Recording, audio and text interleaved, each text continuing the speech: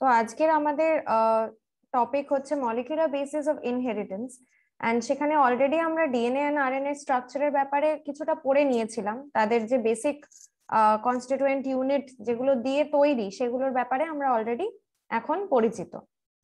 আজকের যেটা আমরা এখন শুরুতে দেখব সেটা হচ্ছে কি structural difference between DNA and RNA যেটা তোমাদের জানতে, জানলে সুবিধে হবে পরবর্তীকালে বুঝতে যে ডিএনএ কেন জেনেটিক মেটেরিয়াল অ্যান্ড আরএনএ কেন নয়। তো সেখানে ডিএনএ এর ক্ষেত্রে আমরা দেখি sugar present in the DNA is two deoxy D ribose তার মানে ডিঅক্সি রাইবোজ মানে সেই আমি বলেছিলাম যে রাইবোজ ইউনিটে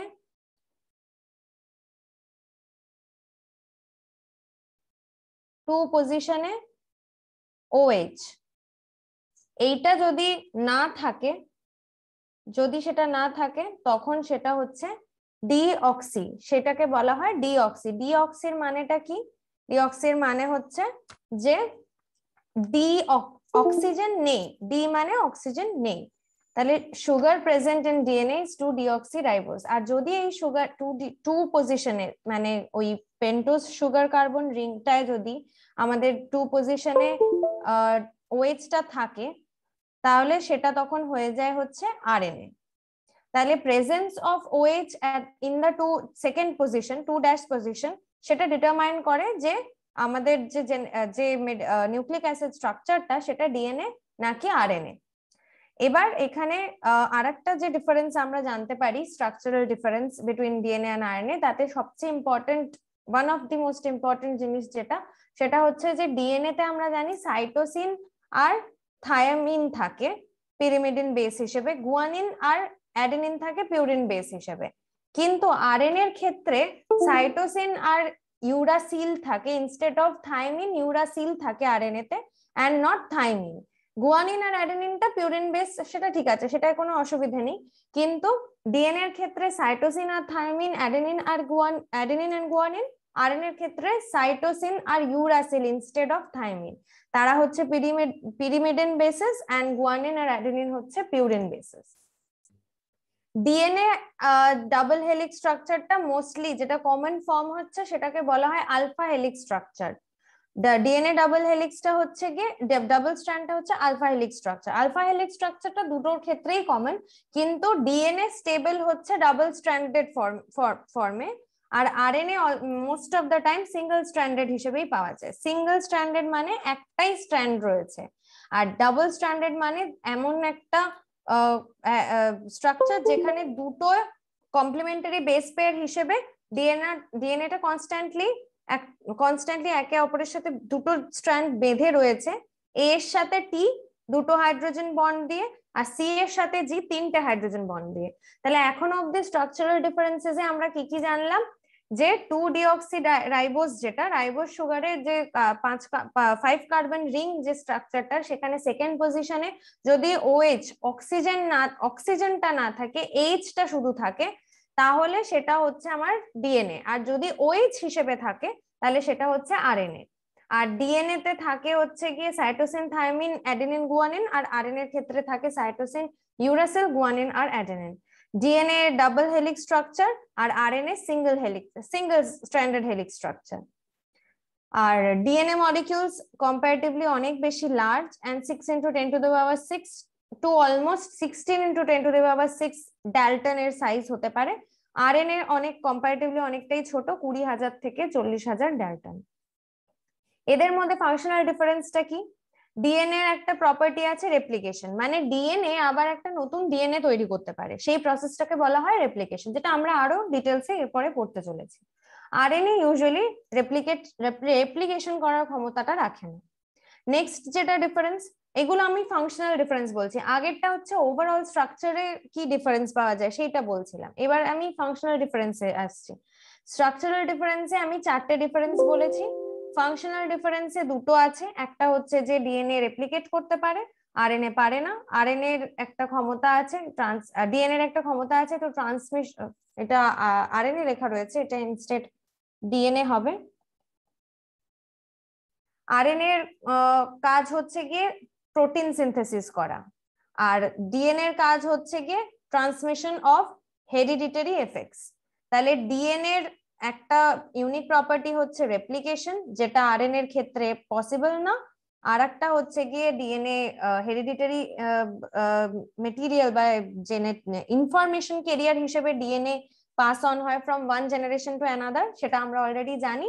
আরএনএ ইউজুয়ালি জেনেটিক মেটেরিয়াল হিসেবে অনেকের, অনেক অর্গানিজমের ক্ষেত্রে আরএনএটা খুব একটা কমন নয়।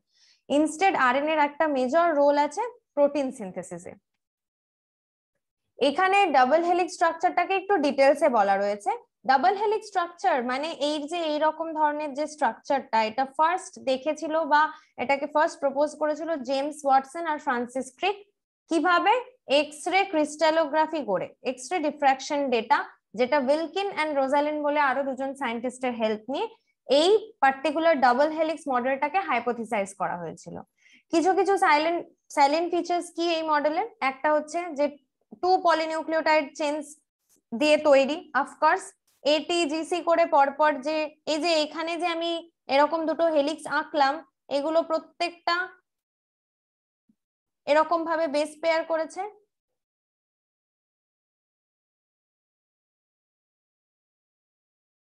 এদের মধ্যে দুটো, এদের মধ্যে তিনটে, এদের মধ্যে দুটো, আবার এদের মধ্যে তিনটে, এরকম ভাবে পুরো জিনিসটা কন্টিনিউ করে গেছে। তো two polynucleotide chains in which backbone is made up of sugar phosphate কেন?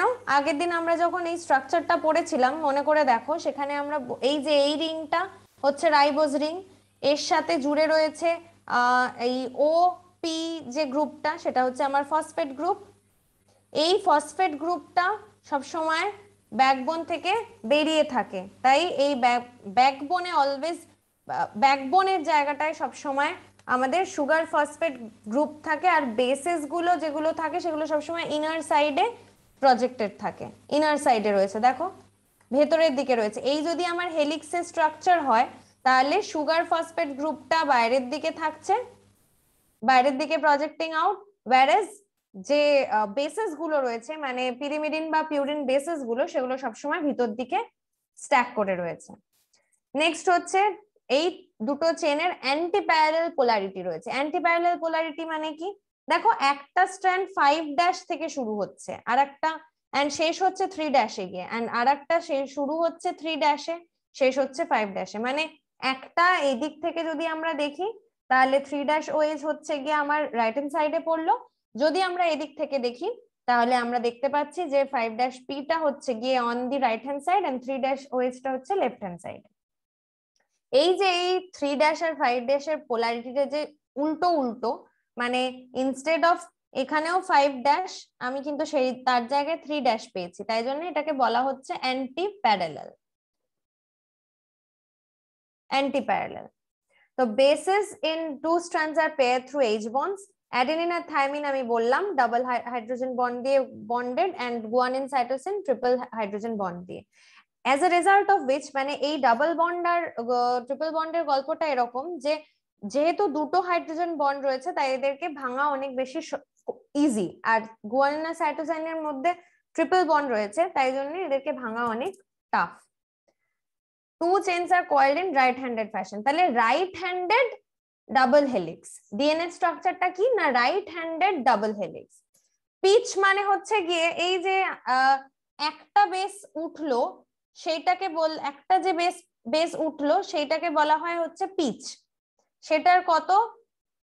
Distance three point four nanometer and রাফলি ten base pair in each turn পুরো একটা কমপ্লিট টার্নের মধ্যে মোটামুটি দশটা করে বেস পেয়ার থাকে। মানে আমি যেটা এখানে জিসি একটা লিখে দিয়েছি ইনস্টেড যদি তুমি ভাবো এখানে আরও জায়গা রয়েছে, তাহলে সেই জায়গার মধ্যে অলমোস্ট দশখানা আরও বেস পেয়ার ফিট হতে পারে।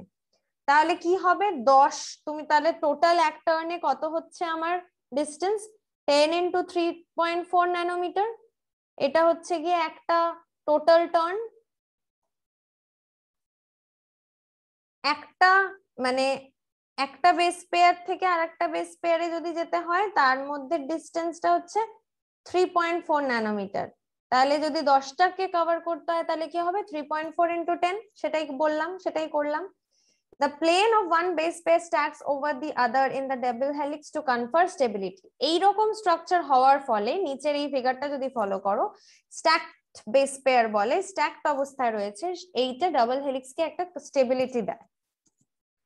এবার হচ্ছে একটা খুব ইন্টারেস্টিং জিনিসে আমরা যাব, যেটা এই মলিকুলার বায়োলজির একদম সেন্ট্রাল জিনিস, যেটা না জানলে চলেই না একেবারে। সেটা হচ্ছে যে ডিএনএ থেকে আরএনএ হয় আরএনএ থেকে প্রোটিন হয়।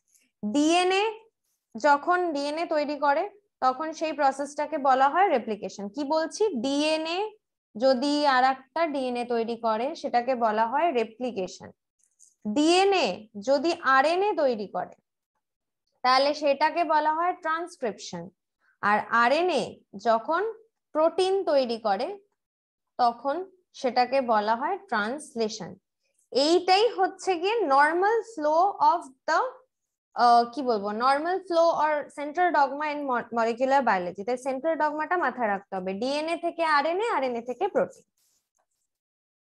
এবার বলছে packing of DNA DNA packaging কীভাবে থাকে? ডিএনএ যদি একটা হেলিক্স ফর্মে থাকে, তাহলে তাহলে ও ও ও কীভাবে কনফাইন থাকে? মানে ও কীভাবে নিজেকে নিউক্লিয়াসের মধ্যে ধরে রাখে? সেইটা জানার জন্য ডিএনএ প্যাকেজিং জিনিসটা আমাদেরকে জানতে হয় বা পড়তে হয়। প্রোক্যারিওটস ওয়েল ডিফাইন নিউক্লিয়াস তো একেবারেই অ্যাবসেন্ট তো নেগেটিভলি চার্জ ডিএনএটা কিছু পজিটিভলি চার্জ প্রোটিনস এর সাথে কম্বাইন করে নিউক্লিয়য়েডস বলে একটা জিনিস ফর্ম করে and it is free in the cell ইউক্যারিওটসদের ক্ষেত্রেও পজিটিভলি চার্জড প্রোটিনসগুলো নেগেটিভলি চার্জ ডিএনএ এর সাথে বাইন্ড করে থাকে। সেই পজিটিভলি চার্জ প্রোটিন গুলোকে বলা হয় হিস্টোন অ্যান্ড একসাথে আটটা একটা একটা অক্টামার ফর্ম করে সেটাকে বলা হয় হিস্টোন অক্টামার। আর negatively charge ডিএনএটা is wrapped around the histone octamer. তাহলে কি হচ্ছে? এরকম পুঁথির মনে হয় যদি আমাদের এই বল অফ ডিএ বল বলটাকে যদি আমরা ভাবি হিস্টোন অক্টামার, একসাথে আটটা ইউনিট রয়েছে, তাহলে সেই হিস্টোন অক্টামারের এগেনস্টে ডিএনএ এরকম ভাবে জড়িয়ে জড়িয়ে থাকে, যেন পুঁথি মানে যদি দূর থেকে electron microscope high resolution microscopy দেখলে মনে হয় যেন পুঁথির মালা। Histones are rich in basic amino acid basic amino অ্যাসিডের এক্সাম্পল কি? লাইসিন আর্জিনিন তাহলে কেন আমাদেরকে বেসিক অ্যামাইনো অ্যাসিড বলল? Basic amino acid carries positive charge আর ডিএনএ আমরা চার্জ জানি already DNA is negatively charge তাই জন্যে ডিএনএ তাকে এই positively charge histone octamer unit wrap এর, এটার হিস্টোন অক্টামার ইউনিটের এগেনস্টে র্যাপড অ্যারাউন্ড র্যাপ করে থাকে হচ্ছে ডিএনএটা অ্যান্ড সেইটাকে বলা হয় নিউক্লিওজোম এই যে নিউক্লিওজোম স্ট্রাকচার অফ নিউক্লিওজোম এতে অলমোস্ট দুশো বেস পেয়ার ধরে ধরে যেতে পারে। And chromatin is the repeating unit of nucleosome পরপর যদি এটা রিপিট করতে থাকে, তাহলে together they form the chromatin In nucleus, some region of chromatin are loosely packed and সেইগুলো loosely packed and যদি স্টেন করা হয় এদেরকে সেটা লাইট স্টেন নেয়। তাই এদেরকে বলা হয় ইউ ক্রোম্যাটিন কিন্তু এই জায়গাটাই হচ্ছে গিয়ে অ্যাক্টিভ অ্যান্ড ক্রোম্যাটিন যেটা densely packed and stains dark is call heterochromatin you you মানে আমি বলেছিলাম true or active euchromatin is transcriptionally active whereas heterochromatin is inactive. আচ্ছা এরপরে যেটা জানতে হয় যে এই জেনেটিক মেটেরিয়াল ডিএনএ যে জেনেটিক মেটেরিয়াল সেটা কোথা থেকে এই কনসেপ্টটা এলো? তো ফ্রেডেরিক গ্রিফেথ বলে একজন সায়েন্টিস্ট ছিলেন, যে ট্রান্সফর্মিং প্রিন্সিপাল বলে একটা বেশ এমন এমন এমন একটা জিনিস বা এমন একটা এক্সপেরিমেন্ট ফর্মুলেট করলেন হাইপোথিসিস বলতে পারো, সেটা এমন ভাবে উনি সাজালেন, সেটা দিয়ে উনি প্রুফ করতে পারলেন যে genetic মেটেরিয়ালটা transforming in nature, transforming in nature. Transforming মানে কি? একটা থেকে আর ও মুভ করতে পারে। এই এক্সপেরিমেন্টটা নাইনটিন টোয়েন্টি এইটে কন্ডাক্ট করা হয়েছিল একটা ব্যাকটেরিয়ার ওপর। সেটার নাম হচ্ছে স্ট্রেপ্টোকোকাস নিমোনিয়া এই স্ট্রেপ্টোকোকাস নিমোনিয়াটা অ্যাকচুয়ালি নিমোনিয়া যে ডিজিজটা সেটার জন্য রেসপন্সিবল অ্যান্ড এই ব্যাকটেরিয়া দুটো স্ট্রেন ছিল। একটা হচ্ছে যেটা স্মুথ শাইনি কলোনিস প্রডিউস করতে পারতো, আর আরেকটা হচ্ছে রাফ কলোনিজ তৈরি করতে পারতো। কলোনিজ মানে কি? তোমরা তোমরা যদি ব্যাকটেরিয়াকে গ্রো করাও আগার প্লেটে আগার প্লেটে যাবতীয় নিউট্রিশন থাকে যাতে ব্যাকটেরিয়া গ্রো করতে পারে, তাহলে প্লেটের মধ্যে এরকম এরকম এরকম এরকম ডট ডট ডট কলোনিজ দেখা যেতে পারে। এই এক একটা কলোনির মধ্যে প্রচুর প্রচুর প্রচুর ব্যাকটেরিয়া থাকে।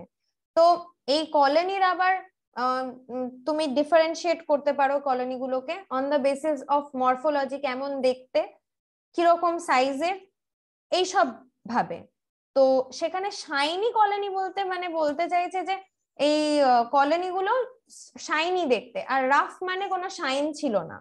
তো এই রাফ আর স্মুথটা আমরা কেন এত ইন্টারেস্টিং কেন আমাদের কাছে? তার কারণ হচ্ছে গিয়ে যারা স্মুথ কলোনি প্রডিউস করতো, যেসব ব্যাকটেরিয়া গুলো, তারা অ্যাকচুয়ালি ভিরুলেন্ট ছিল। ভিরুলেন্ট মানে কি?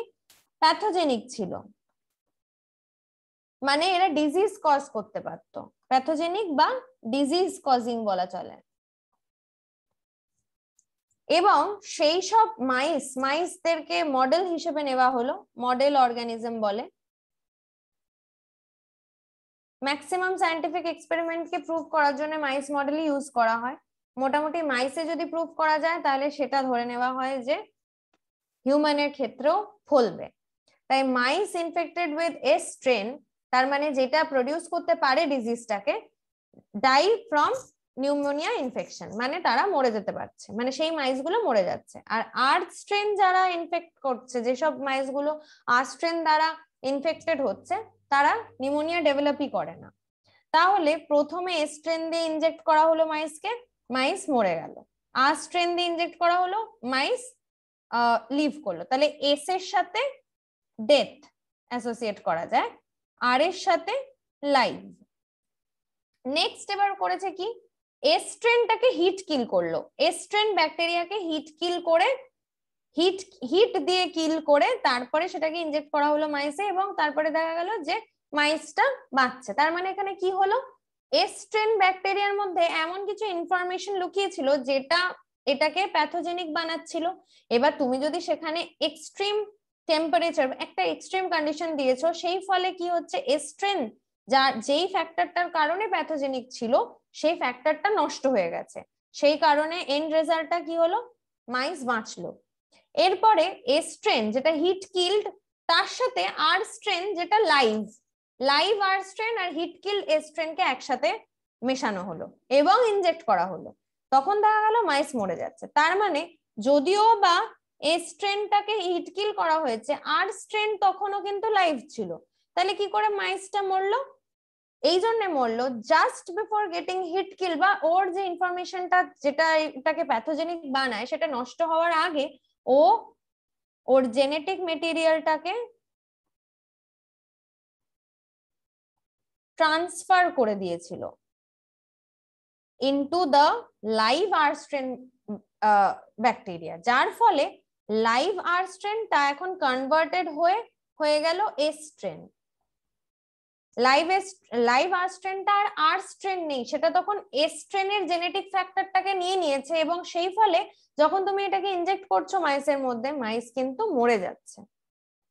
এখান থেকে গ্রিফিথ কনক্লুড করল that R strain bacteria somehow transformed এই যে ট্রান্সফার কথাটা বললাম, এইটাকে সায়েন্টিফিক্যালি নাম দেওয়া হলো ট্রান্সফরমেশন যেটা হয়েছে বাই কীভাবে হলো? Heat kill heat killed S strain ব্যাকটেরিয়াটা somehow R strain ব্যাকটেরিয়াটাকে এস্ট্রেনে কনভার্ট করতে মানে পারল।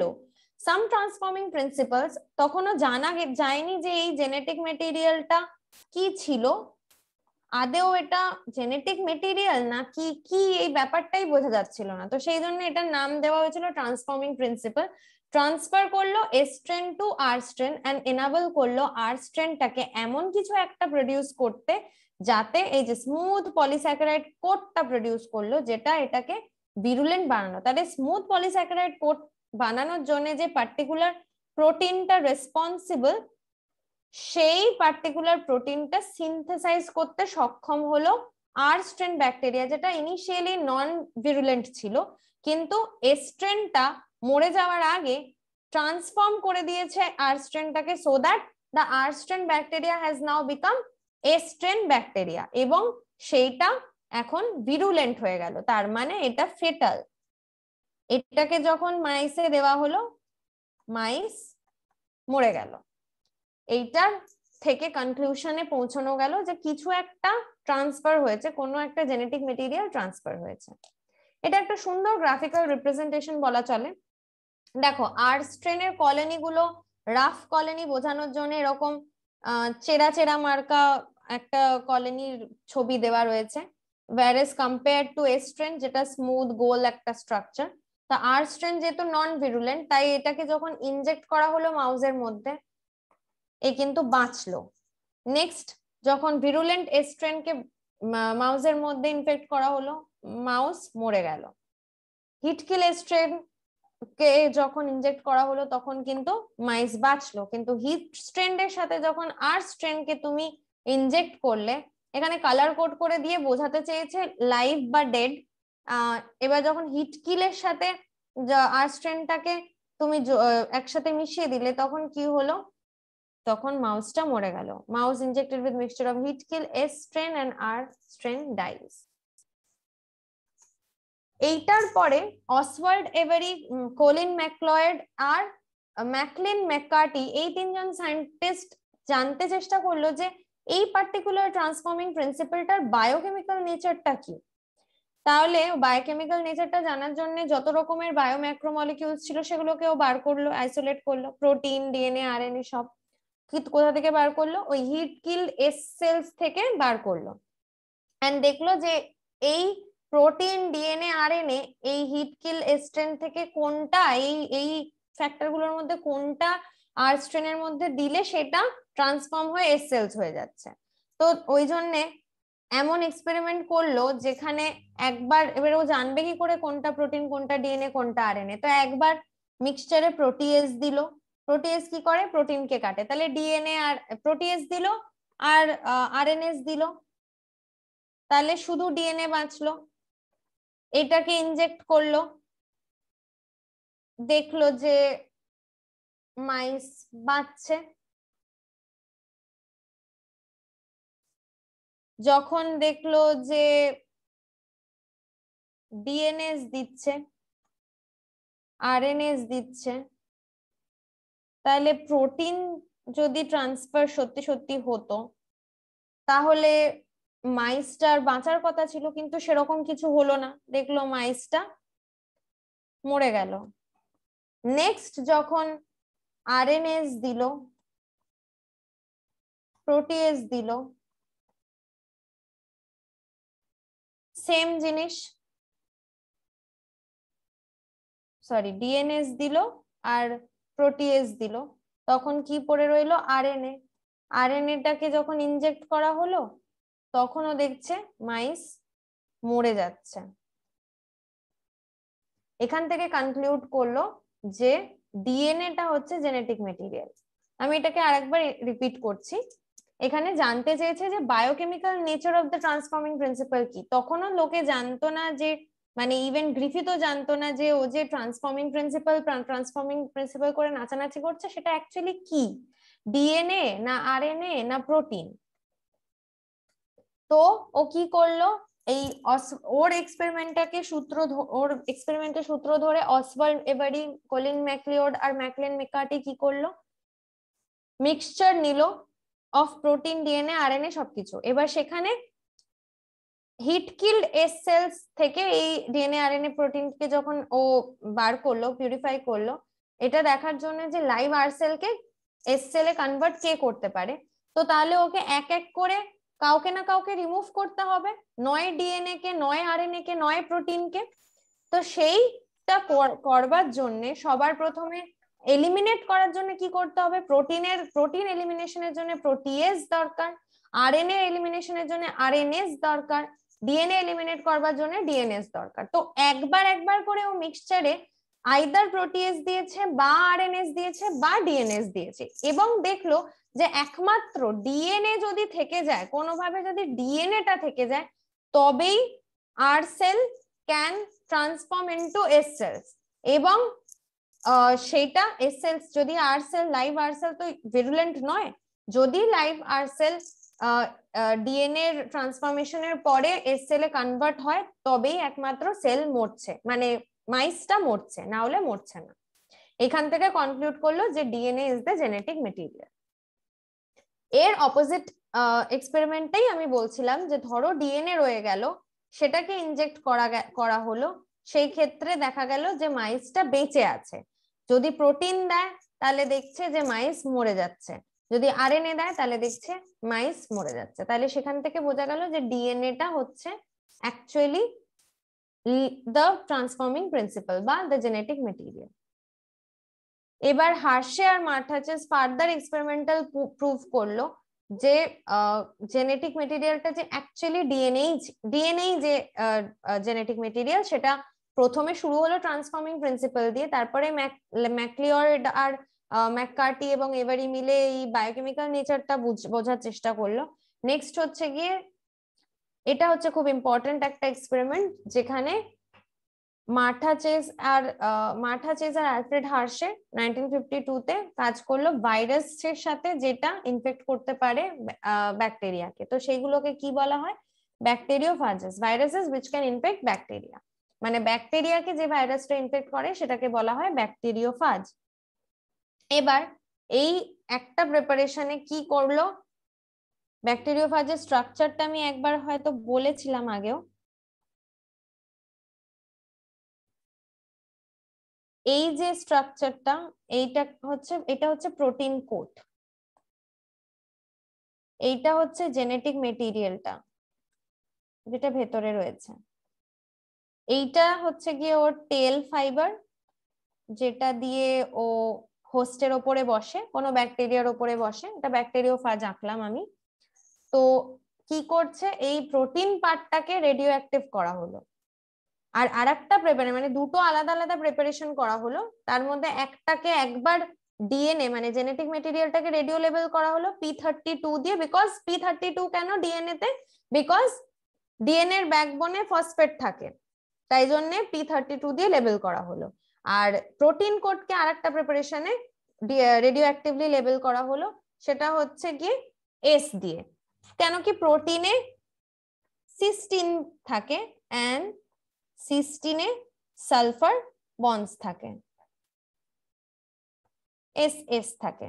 তাই জন্য সালফার দিয়ে এটাকে, সালফারে এটাকে রেডিও লেভেল করা হলো। আর ডিএনএটাকে আরেকটা প্রেপার আরেকটা প্রিপারেশনে ডিএনএটাকে রেডিও লেভেল করা হলো পি থার্টি টু ভালো কথা। এই দুটো ফার্স্ট প্রিপারেশন তার, এদেরকে এবার ইনফেক্ট করানো হলো ইকোলাইট সোন আফটার ইনজেকশন তারপরে ইনজেকশনের পরে লাইসিস করানো হলো সেলগুলোকে মারা হলো এবং ইকোলাই সেলসগুলোকে ব্লেন্ডারে ভালো করে অ্যাজিটেট করে তারপরে সেটাকে সেন্ট্রিফিউজ করা হলো। তার ফলে কি হলো? সেলগুলো সব পেলেট ডাউন করে নিচে চলে এলো। তো heavier infected bacterial cells pellet down to the bottom টিউবের বটমে চলে এলো। আর যে ভাইরাল পার্টিকেলগুলো, যেটাকে বলা হয় সুপার নেটেন সেগুলো ওপরে ভাসতে থাকল। তাহলে তারপরে দেখা গেল যে it was found that when bacteriophage containing radioactive DNA was use to infect E coli তো যদি যেই প্রিপারেশনে ব্যাকটেরিওফাজের রেডিওঅ্যাক্টিভ ডিএনএ ছিল, সেই ইকোলাই পেলেটের মধ্যে রেডিও অ্যাক্টিভিটি পাওয়া গেল। অ্যান্ড যেই ব্যাকটেরিওফাজের প্রোটিন কোড টাকে রেডিও অ্যাক্টিভলি লেবেল করা হয়েছিল, সেখানে দেখা গেল সুপার নেটেন্টে বেশি রেডিও অ্যাক্টিভিটি ছিল। এইভাবে এটা প্রুফ করা গেল যে DNA is the genetic material because DNA went inside the E. coli cells. DNA of the bacteriophage went inside the bacterial cells. তাহলে এখানে দেখো আমি যেটা বললাম সেটাই এখানে এক্সপেরিমেন্টে করে দেখিয়েছে One batch of fudge was labeled with S35 which is incorporated into the protein code. Another batch was labeled with P32. দুটো preparation which is uh, P32 টা DNA তে incorporated হলো S35 টা protein কোডে ব্যাকটেরিয়া ইনফেক্ট করা হলো phage দিয়ে। Cultures were blended centrifuge to separate the phage মানে ফাজ আর ব্যাকটেরিয়াকে আলাদা করার জন্য।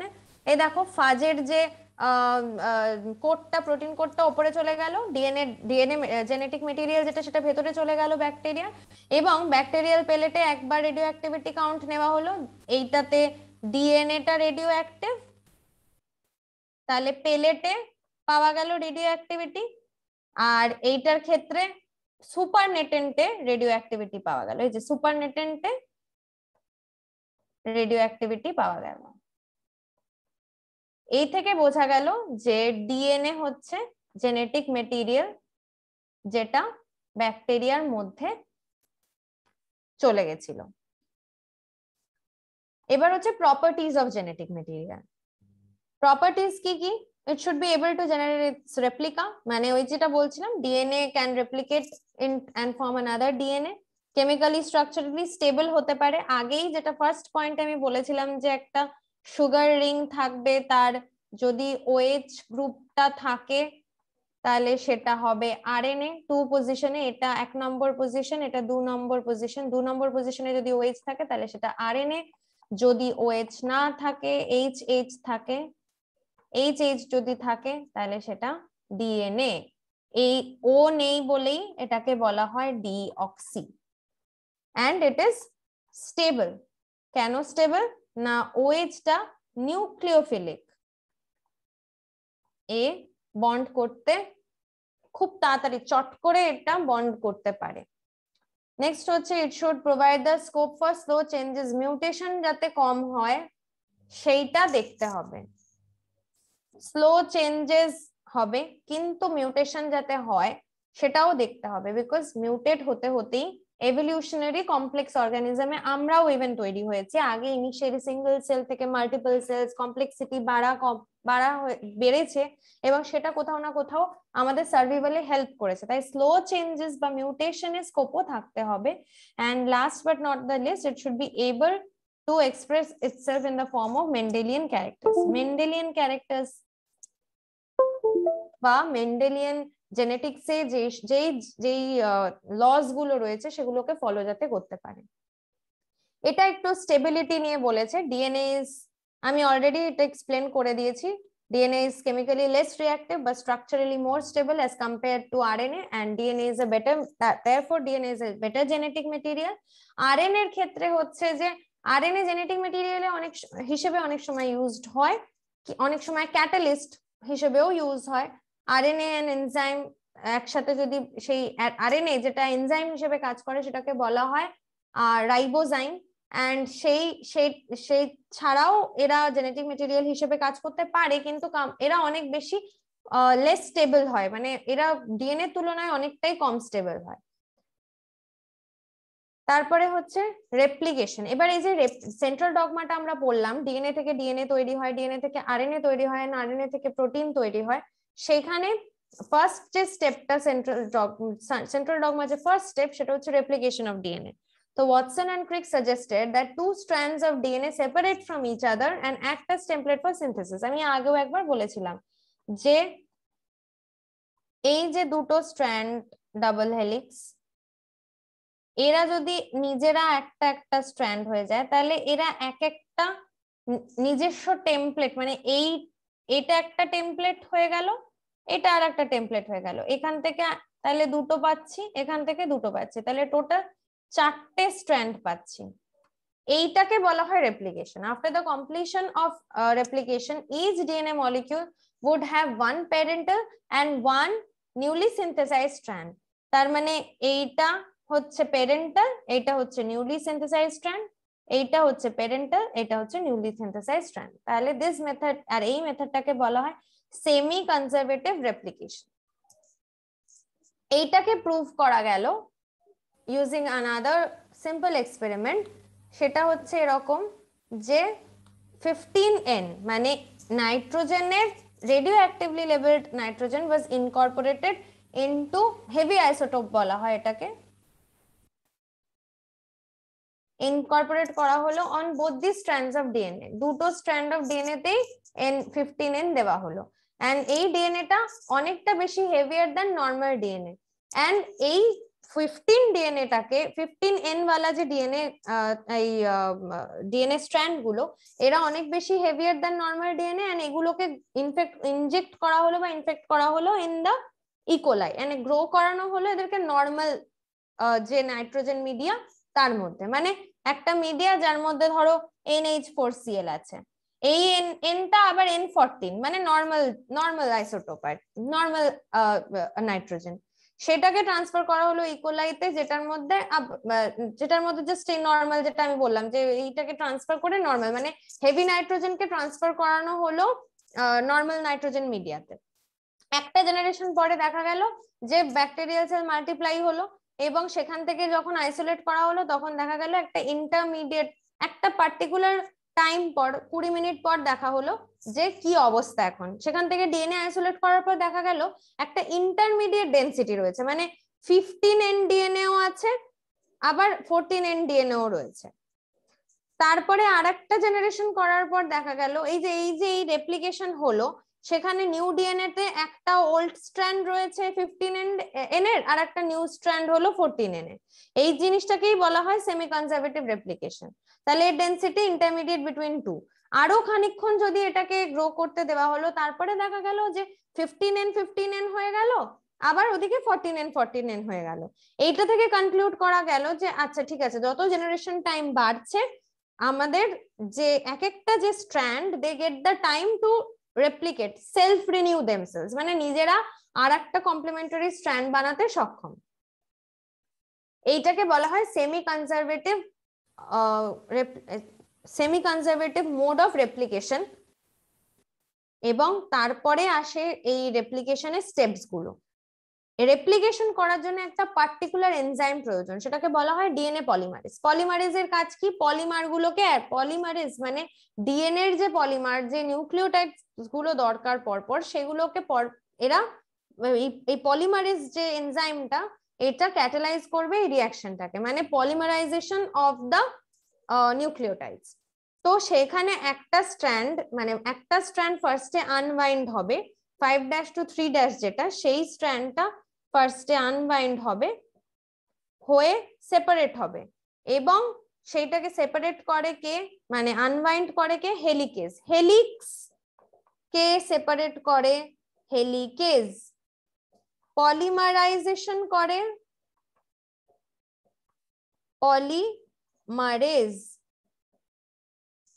তো রেপ্লিকেশন একটা স্ট্র্যান্ডের তো কন্টিনিউয়াস হবে, কিন্তু আর একটা স্ট্র্যান্ডে ডিসকন্টিনিউয়াস হবে। মানে five dash to three dash R three dash to five dash এই অবস্থাতে যখন সেপারেট হয়ে যাবে, তখন এই ডিএনএ পলিমারেজ আবার ফাইভ ড্যাশেই একমাত্র বসে। কিন্তু এইখানে তো উল্টো হয়ে যাচ্ছে। এদিক থেকে বসতে গেলে কি হবে? বারবার এই স্টেবিলিটি পাবে না। ডিএনএ পলিমারেজটা স্টেবিলিটি পাবে না, বারবার খুলে পড়ে যাবে। তাই শর্ট স্ট্রেচ মানে ছোট্ট ছোট্ট ডিএনএ স্ট্র্যান্ড বানাবে। খুলে পড়ে যাবে। আবার ডিএনএ স্ট্র্যান্ড বানাবে, খুলে পড়ে যাবে। আবার ডিএনএ স্ট্র্যান্ড বানাবে, খুলে পড়ে যাবে। বাট এই দিকে কোনো প্রবলেম হবে না। বিকজ ডিএনএ পলিমারেজ সবসময় ফাইভ ড্যাশ টু থ্রি ড্যাশের দিকেই এগোয়। এই ক্ষেত্রে যেখানে এই ছোট্ট ছোট্ট স্ট্র্যান্ডগুলো তৈরি হচ্ছে, এগুলোকে জয়েন করতে হবে। জয়েন করে যে এনজাইমটা সেটার নাম হচ্ছে ডিএনএ লাইগেজ জয়েন করার এনজাইমের নাম হচ্ছে লাইগেজ আর এই যে ছোট ছোট ফ্র্যাগমেন্ট অফ ডিএনএ তৈরি হলো, এগুলোকে বলা হয় ওকাজাকি ফ্র্যাগমেন্টস আমি যেটা বললাম, সেটাই এখানে একটুখানি ডিটেলসে দেওয়া রয়েছে।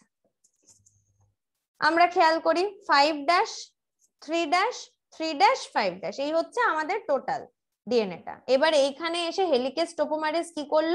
এরা এখন ডাবল হেলিক্স স্ট্র্যান্ডের অবস্থায় রয়েছে, এগুলোকে সেপারেট করল। তাই দুদিকে দুটো ছিড়িয়ে, ছিটিয়ে, ছড়িয়ে, ছিটিয়ে গেল, একটা ফর্ক তৈরি হলো। ফর্ক মানে একটা বাইফার্কেশন তৈরি হলো, দুটো দুদিকে চলে গেল। সেই বাইফার্কেশনেতে হেলিকেজ আর টোপো, হেলিকেজ আর টোপো টোপো আইসোমারেজ এই দুটো এনজাইমের পুরো অপোজিট কাজ। হেলিকেজ হচ্ছে খোলে আর টোপোমারেজ হচ্ছে বন্ধ করে, রোল করে, কয়েল করে। তো হেলিকেজ যখন খুলছে, তখন কি হচ্ছে? একটা একটা করে টেম্পল টেমপ্লেট স্ট্যান্ডের জায়গা হয়ে যাচ্ছে। টেম্পল টেমপ্লেট স্ট্যান্ডের ওপর কে এসে এবার বসবে? বসবে হচ্ছে আমাদের ডিএনএ পলিমারেজ সিনথেসিস হতে থাকবে মানে পলিমারাইজেশন হতে থাকবে। ডাবল স্ট্যান্ড আবার সেই সেম তৈরি হতে শুরু করবে ফাইভ ড্যাশ টু থ্রি ড্যাশে এখানে আমাদের ডিএনএ স্ট্র্যান্ডটা এলঙ্গেট হতে শুরু করল। ওকাজাকি ফ্র্যাগমেন্টের কি প্রবলেম হলো? এই যে এই ছোট ছোট ডিএনএ স্ট্র্যান্ড তৈরি হচ্ছে, এগুলোকে বলা হয় ল্যাগিং স্ট্র্যান্ড আর যেগুলোতে প্রপারলি স্ট্র্যান্ড তৈরি হয়ে যাচ্ছে, কোনো ইন্টারাপশন ছাড়া, সেটাকে বলা হয় লিডিং স্ট্র্যান্ড এটাকে জোড়া লাগাবে গিয়ে ডিএনএ লাইগেজ আর ওভারঅল ডিরেকশনটা তুমি যদি দেখো ফাইভ ড্যাশ থেকে ফাইভ ড্যাশেই রয়েছে ফাইভ ড্যাশ থেকে মানে জিনিসটা এই রকম ঘুরছে। Five dash to three dash new strand and old strand old strand হচ্ছে এই বরাবর যাচ্ছে, আর নিউ স্ট্র্যান্ড হচ্ছে এই এই বরাবর যাচ্ছে। এইখান থেকে খুলছে, এই যে খুলেছে বলেই এতটা জায়গা হয়েছে। এখানে দেখো জায়গাটা কম, এখানে জায়গাটা বেশি। কে করছে? জায়গা বেশি, হেলিকেজ। ওয়ান্স এই জায়গাগুলো ফিল আপ হয়ে যাচ্ছে, নতুন স্ট্র্যান্ড ফরমেশন হয়ে যাচ্ছে টোপো আইসোমারেজ একটা টেনশন ক্রিয়েট করে। পিছনে একটা, আমরা যেরকম দেখি দড়ি, দড়িটাকে কি করি? দড়ি, যে নাইলনের দড়িগুলো এরকম জড়িয়ে ডিএনএটা একদম নাইলনের দড়ির মতোই ওরকম জড়িয়ে ডাবল হেলিক্স হয়ে থাকে। যখন তুমি একটা একটা একটা গাঁট খুলবে, তখন কি হবে? পিছন দিকে একটা টেনশন তৈরি হবে। সিমিলারলি সেই জিনিসটা ডিএনএর ক্ষেত্রেও হয়। হেলিকেজ এখানে খুললে পেছন দিকে একটু টেনশন বাড়ে। আবার হেলিকেজ একটু খুলবে, আর একটু টেনশন বাড়লো। এইরকম করতে করতে পুরো দুটো স্ট্র্যান্ড সেপারেট হয়ে যায়। নেক্সট হচ্ছে ট্রান্সক্রিপশন আরএনএ ডিএনএ থেকে ডিএনএ হয়ে গেল। এবার ডিএনএ থেকে আরএনএ কীভাবে তৈরি হয়? এখানে একটা স্ট্র্যান্ডের ডিএনএ থাকে আর একটা স্ট্র্যান্ড কপি হয় ইনটু আরএনএ। তো অ্যাডেনোসা, এখানে রুলটা সবই সেম শুধু আরএনএ এর ক্ষেত্রে আমরা জানি যে থাইমিন হয় না, তাই অ্যাডেনোস, অ্যাডেনোসিনের সাথে ইউরাসিল হবে ইনস্টেড অফ থাইমিন আর ট্রান্সক্রিপশন অফ ডিএনএ ইনক্লুডস মানে ট্রান্সক্রিপশনের প্রসেসে কয়েকটা নতুন জিনিস আমরা জানব। আগেরটায় যেমন কিছু এনজাইমের নাম পড়লাম, যেগুলো প্রমোট করে ডিএনএ রেপ্লিকেশন এখানেও কিছু আছে ট্রান্সক্রিপশনের মেশিনারি যেমন প্রোমোটার রিজিয়ন স্ট্রাকচারাল জিন এবং টার্মিনেটার দ্য স্ট্র্যান্ডস ওই পোলারিটি যেটা three dash to five dash actually এই ক্ষেত্রে টেমপ্লেট হিসেবে ইউজড হয় অ্যান্ড এটাকে বলা হয় টেমপ্লেট স্ট্র্যান্ড অ্যান্ড যেই স্ট্র্যান্ডটা অপোজিটে মানে three dash to five dash R five dash to three dash এই তো? এখানে three dash to five dash হচ্ছে আমাদের টেমপ্লেট স্ট্র্যান্ড এইটাই ফাইনালি আর এন তে কনভার্ট হবে অ্যান্ড এইটাকে বলা হয় হচ্ছে কোডিং স্ট্র্যান্ড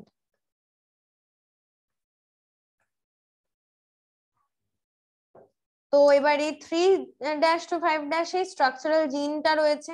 টেমপ্লেট স্ট্র্যান্ড হিসেবে ইউজড হয় এটা প্রোমোটার রিজিয়ন রয়েছে এবং সেই প্রোমোটার রিজিয়নে এসে আরএনএ পলিমারেজ বসে এবং সেটা স্ট্রাকচারাল জিন সিনথেসিসে হেল্প করে। স্ট্রাকচারাল জিন যা কিছু হতে পারে যে কোনো পার্টিকুলার জিন যেটা একটা ফাইনালি আমরা জানি আরএনএ থেকে প্রোটিন হয়, তো কোনো একটা ফাংশনাল ফাংশনাল কোনো প্রোটিন তৈরি হওয়ার জন্য কিছু স্ট্রাকচারাল জিন থাকে প্রোমোটার রিজিয়নের পরে।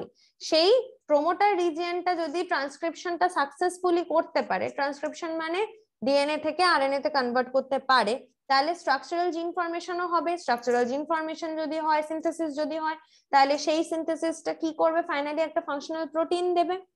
এবং যখন এই পুরো পুরো ডাবল হেলিক্স রিজেন যখন সরি যখন এই ট্রান্সক্রিপশন প্রসেসটা শেষ হওয়ার থাকবে, তখন টার্মিনেটর রিজিয়নে এমন কোনো একটা সিগন্যাল বসে আছে, যেটা এটাকে ইনস্ট্রাক্ট করবে যে now it is time to stop the transcription process এবার এখানে টেমপ্লেট স্ট্র্যান্ড আর কোডিং স্ট্র্যান্ডের মধ্যে ডিফারেন্স বলা হয়েছে। DNA স্ট্র্যান্ডের three dash to five dash polarity coding strand এর ক্ষেত্রে সেটা হচ্ছে কি five dash to three dash polarity template strand হচ্ছে it acts as a template for transcription and codes for RNA and coding strand does not code for any region of RNA during transcription promoter কোথায় located রয়েছে? Located at the five dash end that is located at five dash end that bind the enzyme RNA polymerase to start. আমরা 5 dash end of the এখানে একটু add করে নেব। 5 dash end of the coding strand. যেটার 5 dash to 3 dash polarity রয়েছে। Sigma factor helps in the initiation of transcription এই যে RNA polymerase বলছিলাম, এসে বসবে প্রোমোটার রিজিয়নে সেই আরএনএ পলিমারেজের মধ্যে আবার একটা ইউনিট রয়েছে, যেটাকে বলা হয় sigma factor sigma factor basically এই আরএনএ প্রোমোট এই সরি এই প্রোমোটার রিজিয়নের বেসে বেস চিনতে পারে। বেস চিনে কি করে? ইনিশিয়েশন করে ট্রান্সক্রিপশনে। টার্মিনেটরটা কোথায় লোকেটেড রয়েছে? Three dash end of the coding standard তাহলে প্রোমোটারটা কোডিং স্ট্যান্ডার্ড ফাইভ ড্যাশ এন্ডে রয়েছে, আর টার্মিনেটরটা লোকেটেড রয়েছে হচ্ছে থ্রি ড্যাশ এন্ডে and usually defines the end of transcription, where the row factor will bind to terminate transcription তাহলে সিগমা ফ্যাক্টর ইনিশিয়েট করে, আর রো ফ্যাক্টর টার্মিনেট করে। কি জানলাম? প্রোমোটার রিজিয়নের ফাইভ ড্যাশ এন্ডে of the coding strand promoter রিজিয়নটাকে code করে এবং terminator রিজিয়নটা three dash end of the coding স্ট্র্যান্ডে রয়েছে। সিগমা ফ্যাক্টর ইনিশিয়েট করে ট্রান্সক্রিপশন আর রো ফ্যাক্টর টার্মিনেট করে ট্রান্সক্রিপশন এখানে একটা ভিজুয়াল রিপ্রেজেন্টেশন করেছে। ফাইভ ড্যাশ এন্ডে সিগমা রো ফ্যাক্টর এই সরি সিগমা ফ্যাক্টরটা আরএনএ পলিমারেজের এসে বসল, চিনতে পারল এবং এটা ফাইনালি আরএনএ সিনথেসিস করতে হেল্প করল। এলঙ্গেশনে আরএনএ সিনথেসিস হচ্ছে। এই চলল চলল চলল সিগমা ফ্যাক্টর যেই টার্মিনেটর রিজনে পৌঁছে গেল, তখন আরএনএ পলিমারেজের রো ফ্যাক্টরটা ইনস্ট্রাক্ট করল যে, ভাই, এবার শেষ হয়ে গেছে ট্রান্সক্রিপশন আমার আরএনএটাকে ছেড়ে দাও। আরএনএ ছেড়ে দিল এবং আমরা একটা আরএনএ পেয়ে গেলাম। টার্মিনে ট্রান্সক্রিপশন শেষ হয়ে গেল টার্মিনেশন হয়ে গেল ট্রান্সক্রিপশনের অ্যান্ড আমরা একটা নতুন আরএনএ পেলাম এই ডিএনএর এর কমপ্লিমেন্টারি এক্সন বলতে কি বোঝায়? এক্স কথাটার মানে হচ্ছে যেটা এক্সপ্রেস করতে পারে। তাহলে exons are sequences that appear in mature and processed RNA. Exons are interrupted by introns. Introns দেখা যায় না কোনো mature RNA তে, কোনো processed RNA তে ইন্ট্রন এক্সন দিয়েই তৈরি হয় একটা গোটা আরএনএ কিন্তু প্রসেসিং যখন হয় প্রসেসিং মানে হচ্ছে কি একটা প্রসেসড ফুড মানে কি র ফুড আর প্রসেস ফুডের মধ্যে ডিফারেন্স কোথায় প্রসেস ফুডে সিজনিং করা থাকে, ঝাল, মশলা সল্ট হ্যানা ত্যানা দিয়ে ব্যাপারটাকে একটা রিপ্রেজেন্টেবল অবস্থায় করা হয় সিমিলারলি আরএনএ যখন র ফর্মে থাকে, তখন ওর মধ্যে হাজারোটা এক্সট্রা সিকোয়েন্স থাকে, যেগুলো হয়তো ইম্পর্টেন্ট নয়। আমার শুধু ওই জায়গাগুলোই দরকার যেগুলো এক্সপ্রেস করতে পারে। এক্সপ্রেস করতে পারে কিসে? আরএনএ যেটা একটা ফাংশনাল প্রোটিন আমাকে দিতে পারে।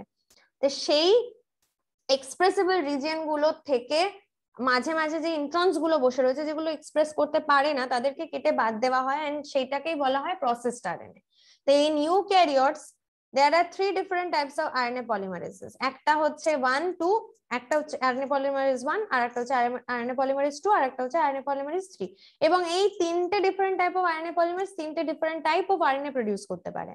RNA polymerase 1 তৈরি করে আর RNA RNA polymerase 2 যেটা আমরা ট্রান্সক্রিপশনের ক্ষেত্রে পড়লাম, সেটা তৈরি করে হচ্ছে mRNA mRNA এম মানে হচ্ছে মেসেঞ্জার আরএনএ আর আরএনএ মানে হচ্ছে রাইবোজোমাল আরএনএ আর টিআরএনএ মানে হচ্ছে ট্রান্সফার আরএনএ তাহলে এই তিন ধরনের আরএনএ তৈরি করতে পারে। The mRNA provides the template template for what template for protein synthesis এমআরএনএটা একটা টেমপ্লেট প্রোভাইড করে প্রোটিন সিনথেসিসের জন্য। টিআরএনএ কি করে? Transfer it acts as an adapter আগে একবার কখনো হয়তো আমি বলেছিলাম এই কথাটা যে আরএনএ বেসিক্যালি অ্যাডাপ্টার মলিকিউল হিসেবে কাজ করে। তো এই অ্যাডাপ্টার মলিকিউলের কাজ কি? অ্যাডাপ্টার কি করে? চার্জ দেয়। সেই চার্জ দেওয়া বা এই ক্ষেত্রে আমাদের যেহেতু আমরা প্রোটিন সিনথেসিসের কথা বলছি, তাই আমাদের প্রোটিন সিনথেসিসের জন্য কি লাগবে? অ্যামাইনো অ্যাসিড লাগবে। তো এই ট্রান্সফার আরএনএটা কি করে? অ্যামাইনো অ্যাসিড নিয়ে এসে ঠিক আরএনএ এমআরএন এর কমপ্লিমেন্টারি যে অ্যামাইনো অ্যাসিডটা বসা উচিত, সেই অ্যামাইনো অ্যাসিডটাকে নিয়ে আসে। এবং জেনেটিক কোডটাকে রিড করে। জেনেটিক কোডে আমি পরে আসছি। এবং রাইবোজোমাল আরএনএ এর একটা ক্যাটালাইটিক রোল আছে। প্রোটিন সিনথেসিসের সময়, সেটাও আমরা পরে দেখব। তাহলে ডিএনএ রেপ্লিকেশন আর আরএনএ ট্রান্সক্রিপশন এর মধ্যে ডিফারেন্স কি? ডিএনএ রেপ্লিকেশনে কি হচ্ছে? Two new molecules are form of double standard DNA RNA এর ক্ষেত্রে কি হচ্ছে? One molecule of single standard RNA is produced DNA রেপ্লিকেশনের ক্ষেত্রে কি হচ্ছে? Adenine on one strand binds to thymidine thymine on the new DNA strand এই ক্ষেত্রে uracil আর ডিএনএ রেপ্লিকেশনের ক্ষেত্রে এন্টায়ার ক্রোমোজোমটা রেপ্লিকেট হয় আরএনএ এর ক্ষেত্রে স্মল পোর্শন অফ ডিএনএটা আরএনএ তে ট্রান্সক্রাইব হতে পারে যেখানে যখন যেরকম দরকার আর ডিএনএ রেপ্লিকেশনের ক্ষেত্রে অনেকগুলো এনজাইম পড়েছে তার মধ্যে একটা যেটা ইম্পর্টেন্ট সেটা হচ্ছে ডিএনএ পলিমারেজ যেটা ছাড়া পলিমারাইজেশনটাই হবে না আরএনএ ট্রান্সক্রিপশনের ক্ষেত্রে আরএনএ পলিমারেজ ডিএনএ রেপ্লিকেশনটা আর আরএনএ ট্রান্সক্রিপশনটা দুটোই কিন্তু নিউক্লিয়াসে ঘটে দ্য প্রাইমারি ট্রান্সক্রিপ্ট যেটা ট্রান্সক্রিপশনের পরে আমরা আরএনএটা পাবো, সেখানে যেটা বললাম এক্সন ইন্ট্রন দুটোই থাকে, কিন্তু ইন্ট্রনটা নন ফাংশনাল তাই জন্য কি হয়, একটা প্রসেস হয়, যেটাকে বলে স্প্লাইসিং স্প্লাইসিং করলে কি হয়, ওই ইন্ট্রন রিজনগুলো কেটে বাদ চলে যায় এন্ড শুধু এক্সন থেকে যায়, এবং এক্সনগুলো পরপর ডিফাইন্ড অর্ডারে থাকে। এক্সনগুলো এক্সপ্রেস করতে পারে, তাই ফাংশন ফাংশনাল প্রোটিনও তৈরি হতে, হওয়া সম্ভব। তারপরে নেক্সট হচ্ছে বলছে একটা ইনফরমেশন দিয়েছে দ্য এইচএন আরএনএ বা হেটারোজেনাস নিউক্লিয়ার আরএনএ এটাও একটা নতুন টাইপ অফ আরএনএ আর একটা ধরনের আরএনএ এটা আন্ডারগো করে একটা অ্যাডিশনাল প্রসেস যেটাকে বলা হয় ক্যাপিং এন্ড টেলিং এটাও কিন্তু আরএনএ প্রসেসিং এটাকে বলা হয় পোস্ট ট্রান্সক্রিপশনাল মডিফিকেশন এই স্প্লাইসিং তারপরে ক্যাপিং তারপরে হচ্ছে টেলিং এগুলোকে বলা হয় হচ্ছে post transcriptional modification. Post transcriptional modification করল। ক্যাপিং এ কি হয়? মিথিয়ন methyl guanosine triphosphate five dash এন্ডে গিয়ে লাগে। এটা একটা স্টেবিলিটি প্রোভাইড করে। আর টেলিং এর ক্ষেত্রে কি হয়? অনেকগুলো অ্যাডেনাইলেট পলি অ্যাডেনাইলেট মানে এ এ এ এ সব থ্রি ড্যাশ এন্ডে গিয়ে লাগে। এবং সেইটা লাগার পর একটা কমপ্লিট ম্যাচিওর আরএনএ আমরা পাই। তাহলে ফাইভ ড্যাশ এন্ডে ফাইভ এমজি বলা চলে MG TP methyl guanosine triphosphate five dash এন্ডে আর থ্রি ড্যাশ এন্ডে এ এ এ পলিঅ্যাডেনাইলেট এই এইটাকে বলা হয় ক্যাপিং এইটাকে বলা হয় টেলিং তাহলে স্প্লাইসিং ক্যাপিং টেলিং টেলিং সবকিছুই হচ্ছে গিয়ে পোস্ট ট্রান্সক্রিপশনাল মডিফিকেশনের পার্ট নেক্সট হচ্ছে জেনেটিক কোড জেনেটিক কোডটা কি? জেনেটিক কোড হচ্ছে গিয়ে অ্যামাইনো অ্যাসিড সিকোয়েন্স যেটা একটা গোটা পলিপেপটাইড তৈরি করবে, সেইটা কার রেসপেক্টে পলিপেপটাইডটা তৈরি হবে? এমআরএনএ এই মেসেঞ্জার আরএনএ তে যে নিউক্লিওটাইড বা বেস সিকোয়েন্সগুলো রয়েছে, তার রেসপেক্টে অ্যামাইনো অ্যাসিড সিকোয়েন্স তৈরি হবে। সেইটাকে বলা হয় হচ্ছে, সেই, সেটা ডিরেক্ট করে সিনথেসিস অফ প্রোটিন সেইটা সম্ভব হয় because there is a code present in the mRNA sequence যেটা ডিরেক্ট করবে কেমন কেমন হবে, কি কি থাকবে পরপর একটা পলিপেপটাইডের সিকোয়েন্সে জর্জ গ্যামো বলে যিনি ছিলেন সায়েন্টিস্ট তিনি সাজেস্ট করেছিলেন যে জেনেটিক কোডের যে কম্বিনেশনটা সেটা থ্রি নিউক্লিওটাইডস মানে তিনটে নিউক্লিওটাইডের একটা করে মানে একটা কোড মানে তিন নিউক্লিওটাইডের একটা সিকোয়েন্স যেটা উড বি মানে এক, এরকম তিনটে তিনটে তিনটে করে, এই যে তিনটে তিনটে করে নিউক্লিওটাইডের কথা বলা হয়েছে, সেটাকে বলা হয় কোডন। এই একটা কোডন বেসিক্যালি একটা অ্যামাইনো অ্যাসিডকে কোড করবে। তো সেই রকম আমাদের কাছে টোয়েন্টিটা অ্যামাইনো অ্যাসিড রয়েছে। তো তিনের বেশি হলে যদি চারটে করে হতো, তাহলে সিক্সটি ফোর মানে four four four four four করলে আমরা দেখছিলাম যে বেশি হয়ে যাচ্ছে। তাই জন্যে ফোর ইন ফোর যদি টু দি পাওয়ার থ্রি করে, তার, তাহলে সেই ক্ষেত্রেই একমাত্র কুড়িটা একদম ঠিকঠাক ভাবে আসছে। Four to the power four করলে এক্সেস হয়ে যাচ্ছে, আবার four to the power two করলে কম হয়ে যাচ্ছে। চার ইন্টু চার করলে ষোলোটা অ্যামাইনো অ্যাসিড হচ্ছে, আমাদের তোর কুড়িটা অ্যামাইনো অ্যাসিড হবে না। তাই চার ইন্টু চার ইন্টু চার করলে সিক্সটি ফোর হচ্ছে sixty four amino sixty four amino acid also এটাও এক্সেস বাট এখান থেকে কনক্লুশন আসা গেল যে একটা কোডন কিন্তু মোর দ্যান ওয়ান অ্যামাইনো অ্যাসিডকে কোড করতে পারে। তাহলে four into one four to the power one যদি হয়, তাহলে সেটা চারটে। চারটে ইজ ভেরি লেস মিলছে না হিসেব। আমরা জানি ন্যাচারালি অ্যাভেলেবল ষোলো, কুড়িটা অ্যামাইনো অ্যাসিড আছে। চার ইন্টু চার করলে ষোলোটা হচ্ছে সেখানেও কম। একমাত্র চার ইন্টু তিন করলে সিক্সটি ফোর হচ্ছে, যেটা ইজ এনাফ তাহলে সেখান থেকে বোঝা গেল যে সিক্সটি ফোরটা মানে যদি হয়, যদি ধরা হয় সিক্সটি ফোরটা তো নেই, কিন্তু যদি ইট ইজ পসিবল যে তিনটে, একটা একটা particular codon instead of one amino acid synthesis it can code for more than one amino acid এরকম এক্সাম্পল প্রচুর আছে। হরগোবিন্দ খুরানা একজন এমন সায়েন্টিস্ট তিনি এমন একটা কেমিক্যাল মেথড ডেভেলপ করেছিলেন, সেখান থেকে আরএনএ মলিকিউল কে সিনথেসাইজ করা পসিবল হয়েছিল ডিফারেন্ট কম্বিনে এই বেসের বেসগুলো ডিফারেন্ট কম্বিনেশন করে করে উনি আরএনএ মলিকিউল সিনথেসাইজ করেছিলেন। মার্শাল নিরেনবার্গের একটা cell free system protein synthesis তাকে ফাইনালাইজ করে কোড কীভাবে ডেসিফার মানে কোড থেকে কীভাবে ফাইনালি প্রোটিন সিনথেসিস তৈরি মানে প্রোটিন সিনথেসিস হলো সেটা এই মার্শাল নিরেনবার্গ বলেছিল।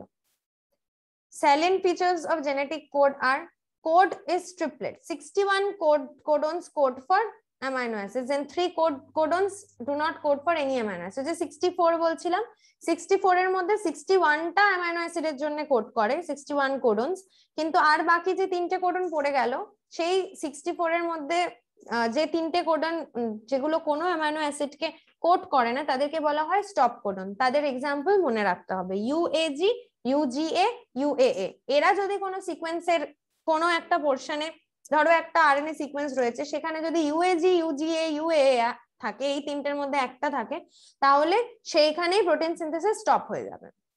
মানে ওরা স্টপ করছে protein synthesis codon is unambiguous and specific and codes for one amino acid. Code is degenerate এই যে একটা কোডন মোর একটা একটা codon can code for more than one amino acid সেইটাকে সেইটাকে বলা হয় code is degenerate codon is read in mRNA in a contiguous value কোনো পাংচুয়েশন ছাড়া পর পর রিড করে যাবে। যেমন A U G U G A A G G T C G T G G এরকম ভাবে। এটা পর পর পর পর কোনো পাংচুয়েশন নেই। কোডন ইজ নিয়ারলি ইউনিভার্সাল আর এইউজি এইউজির একটা ডুয়াল ফাংশন রয়েছে। এইউজি বেসিক্যালি মিথিওনিন বলে যে অ্যামাইনো অ্যাসিডটা তাকে কোড করে।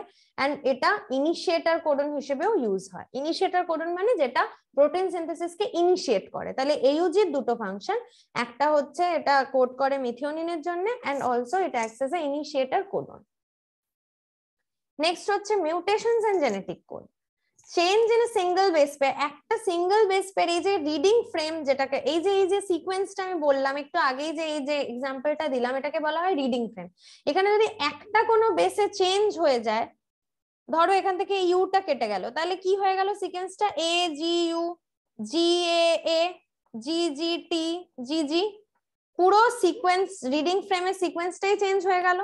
এইটাকে বলা হয় বেস পেয়ার মিউটেশন এইরকমই বিটা গ্লোবিন চেনের এরকম একটা পলিপেপটাইড চেনের যদি সিক্স পজিশন থেকে বিটা গ্লোবিন চেনের সিক্স পজিশনে যে গ্লুটামেট থেকে ভ্যালিন হয়ে গেছিল সেটার কারণে কিন্তু গোটা চেনটা যে পার্টিকুলার হেমোগ্লোবিন সিনথেসাইজ যে ফাংশনাল হেমোগ্লোবিন তৈরি করতে পারতো, সেটা না করতে পেরে একটা নর্মাল হেমোগ্লোবিন তৈরি করল, যেটার কারণে কিন্তু সিকেল সেল অ্যানিমিয়া হয়। সেইটাকে বলা হয় point mutation single base pair change এরকমই যদি কোনো বেস ঢোকে বা ডিলিট হয়, যদি মাল্টিপলস অফ থ্রিতে ইনসার্ট বা ডিলিট হয়, হতে পারে যে ও পুরোনো জায়গাতে মানে কোনো অ্যাসাস ডিফারেন্সই হলো না।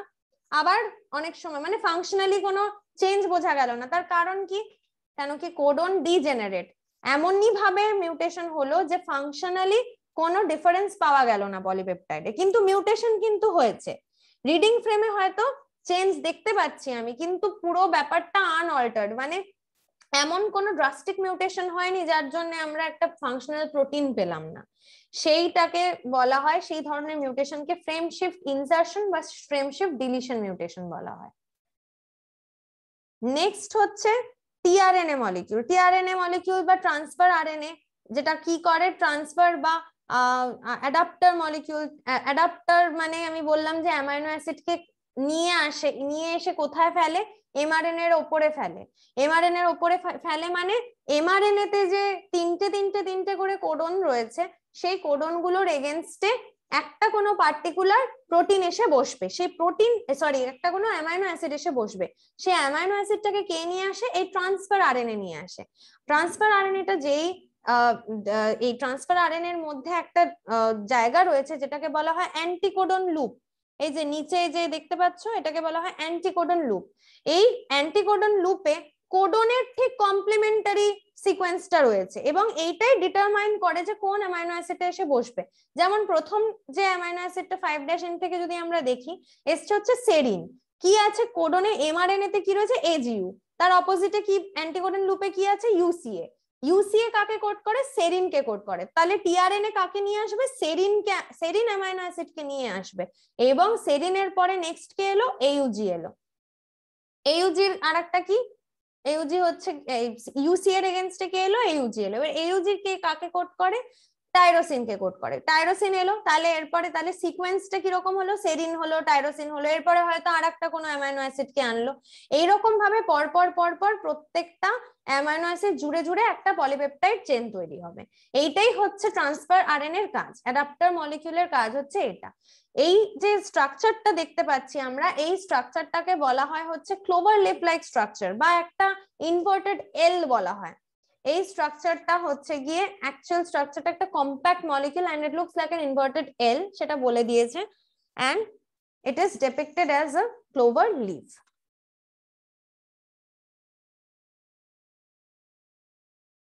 এইভাবে RNA molecule helps in the synthesis of protein